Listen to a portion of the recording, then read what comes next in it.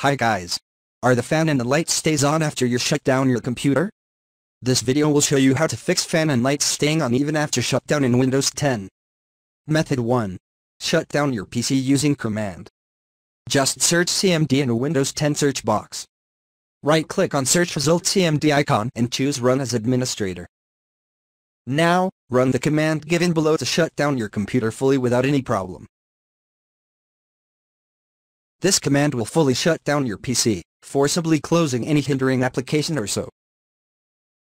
Method 2. Switch off the link state power management. Press Windows key plus R together to launch a run terminal. In the run window, type or copy-paste this run command and then hit enter. Here, click on the PCI Express. Then, click on Link State Power Management to expand it.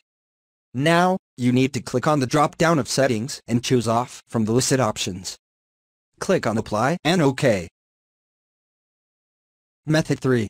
Switch off the Fast Startup.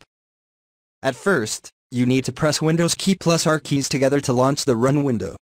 Now, copy-paste this command and then hit Enter to execute it. Power Options window will be opened. Now, click on the Choose What Power Buttons Do option. You need to click on Change Settings that are currently unavailable. Next, under Shutdown Settings, uncheck the option Turn on Fast Startup. Then, click on Save Changes. Once you have switched off the Fast Startup, restart your computer. Method 4. Disable Hibernation.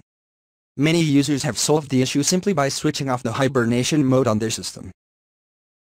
Just search CMD in a Windows 10 search box. Right-click on Search Result CMD icon and choose Run as Administrator.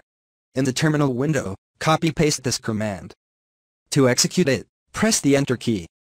Once you have turned off the hibernation on your system, switch it off and check if this works on your computer.